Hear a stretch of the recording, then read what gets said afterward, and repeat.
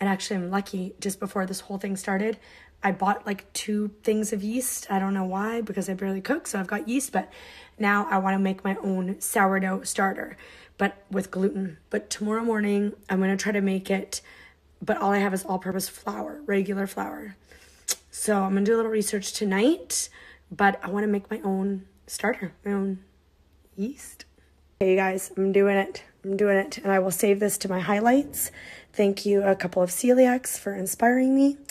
So this this one is actually I googled how to get a gluten-free starter using all-purpose flour because that's all I have, and I don't want to do gluten-free.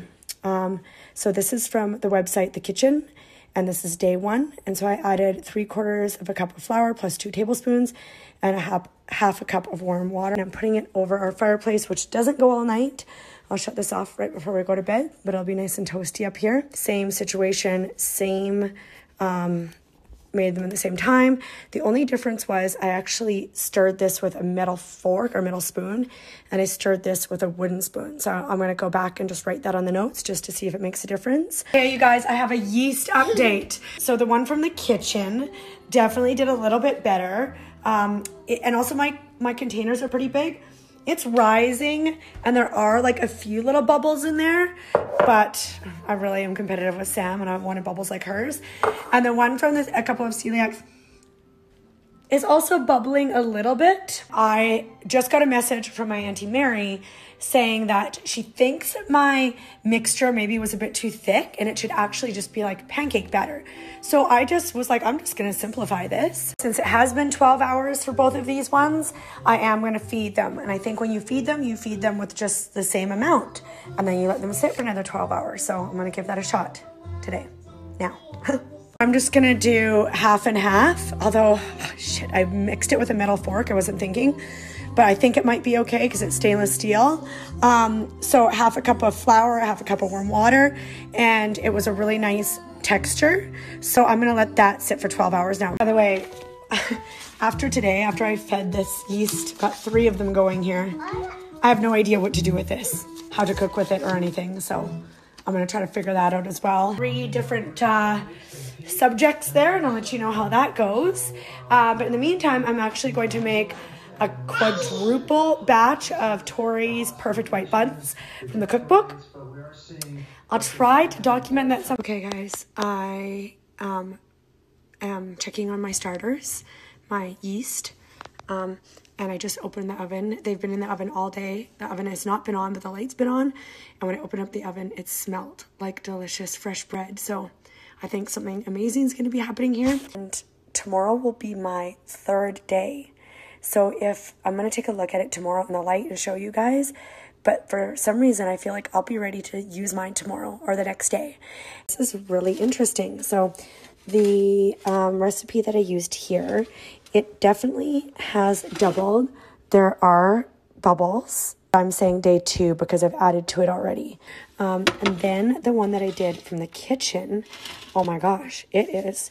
Now the reason why this one this one might be doing better than a couple of celiacs is because this is a gluten-free recipe, but I used gluten dough, dough exactly 12 hours since I've added to all these, and then I'll see what happens in the morning.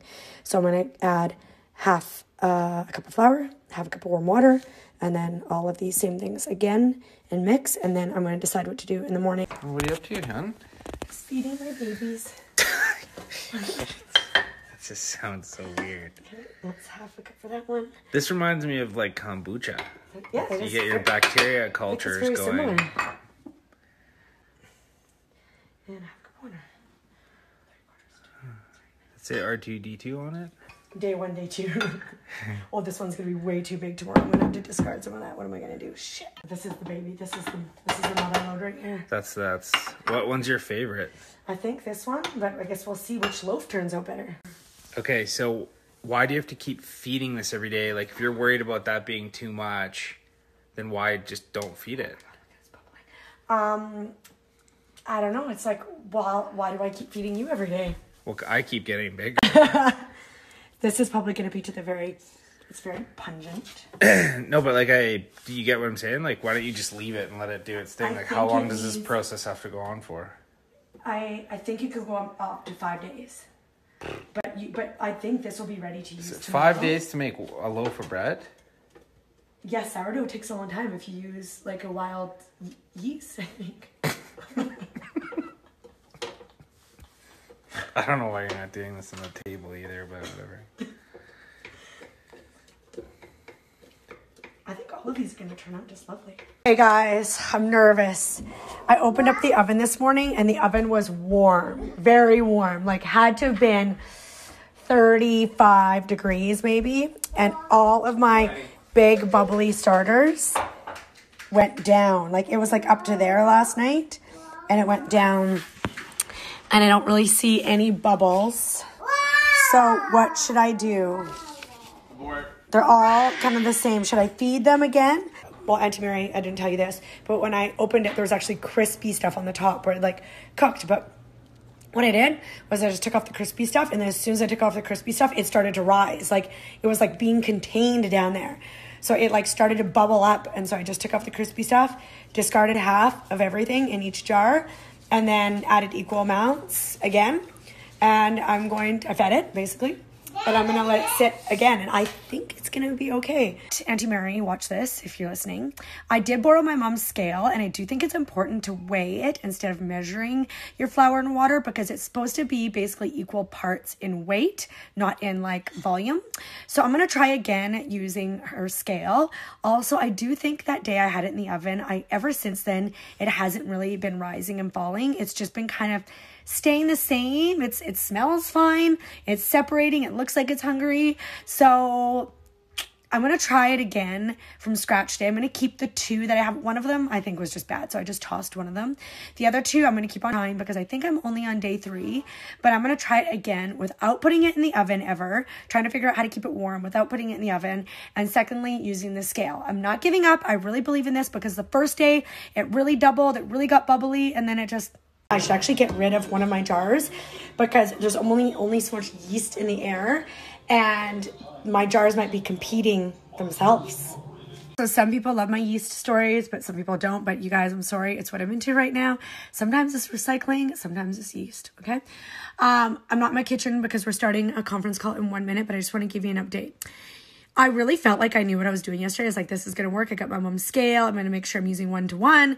Um, it didn't even rise not at, not at all and so i was watching monika hibbs story yesterday and mary conkin wrote on her note she um, gave monika some starter and on it said you need to do one to one to one so this morning I looked at my yeast, hadn't it's bubbling, still smells good, it's fine.